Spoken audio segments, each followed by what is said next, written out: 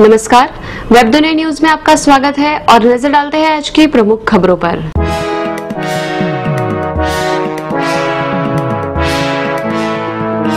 जयललिता को बड़ी राहत, कर्नाटक हाईकोर्ट ने किया बरी।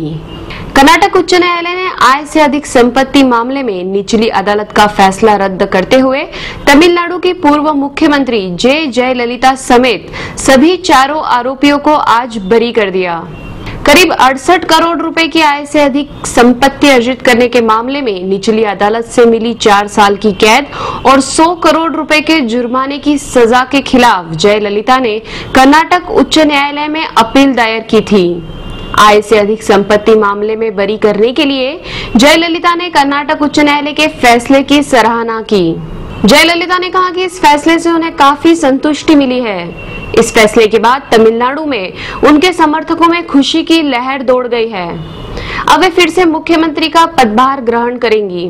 संभवतः 17 मई को वे शपथ ले। इस समय राज्य के मुख्यमंत्री ओ पन्नीर सेल्वम हैं।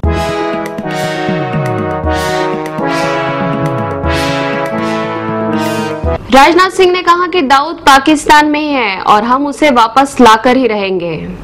केंद्रीय गृह मंत्री राजनाथ सिंह ने सोमवार को अंडरवर्ल्ड सरगना और वर्ष उन्नीस सौ तिरानवे के मुंबई बम धमाकों के आरोपी दाऊद इब्राहिम को लेकर लोकसभा में बयान दिया। उन्होंने कहा कि दाऊद के पाकिस्तान में होने की विश्वसनीय जानकारी है। पाकिस्तान इसमें सहयोग नहीं कर रहा, लेकिन मैं सदन को आश्वस्त करना चाहता हूँ कि हम उसे हर हाल में भारत लाकर रहेंगे।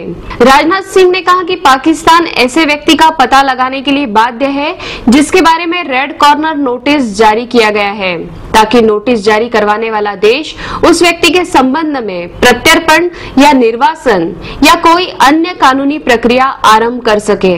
उन्होंने यह भी कहा कि पाकिस्तान को पर्याप्त दस्तावेज़ और अन्य साक्ष्य सौंपे जाने के बावजूद पाकिस्तान दाऊद का पता लगाने और कानूनी प्रक्रिया आरंभ करने में विफल रहा है।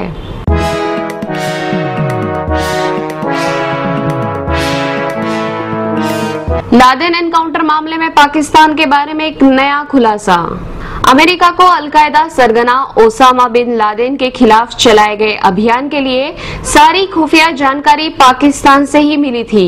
हालाँकि इसकी सफलता को दुनिया के सामने अमेरिका की बड़ी उपलब्धि के रूप में पेश किया गया और पाकिस्तान को खलनायक बना दिया गया। अमेरिकी खोजी पत्रकार और लेखक सीमोर एम हर्षे ने ये पाकिस्तान के अखबार डॉन को दिए साक्षात्कार में दावा किया है। उन्होंने कहा कि पाकिस्तान में अमेरिका ने लादेन के खिलाफ जो गुप्त अभियान चलाया था, उसमें पाकिस्तान की खुफिया एजेंसी आईएसआई ने पूरी मदद की थी। यदि यह मदद नहीं मिलती तो अमेरिका के लिए ओसामा तक पहुँचना हर किस संभव नहीं था।